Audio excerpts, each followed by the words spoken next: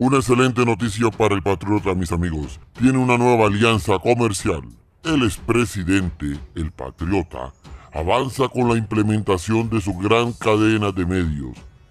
Ahora anuncia la asociación de su red social Trunks con la plataforma canadiense de streaming y alojamiento de video que no discrimina la ideología política.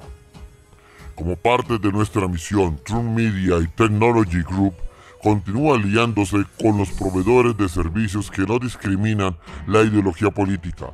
Por lo tanto, es seleccionado Rumble Cards para que sirva como columna vertebral crítica para la estructura Trump Media y Technology Group, publicó el Titán.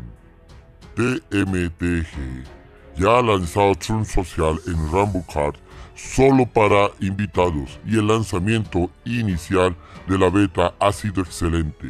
Estados Unidos está listo para Trump.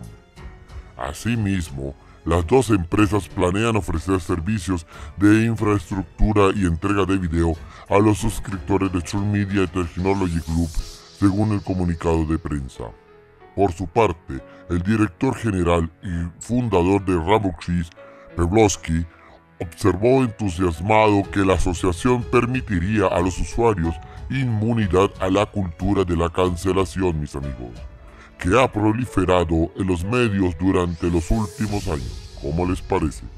Es la gran cruzada lanzada por el patriota para proteger la libertad de expresión en Estados Unidos y que para algunos representa una guerra cultural entre liberales y conservadores.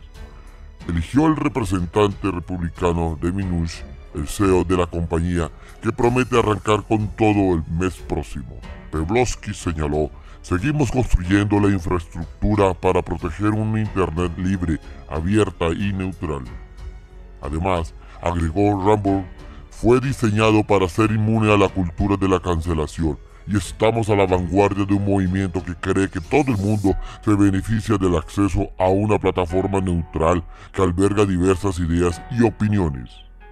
La vinculación empresarial de las dos compañías registró un significado incremento en el valor de las acciones de las sociedades de adquisición con fines especiales, SPACE, por la sigla en inglés, a través de las cuales cotizan en la bolsa. La gran acogida que tiene la cadena de medios del Titán representó para este una retribución económica gigantesca. Las acciones se dispararon desde cerca de los 10 dólares por acción por los que inició su comercialización en octubre hasta los 175 dólares, para luego estabilizarse en torno a los 50 dólares cada una. Tengan la seguridad de que no ha renunciado de ninguna manera a nuestra lucha colectiva, simplemente la llevaré a cabo por otros medios.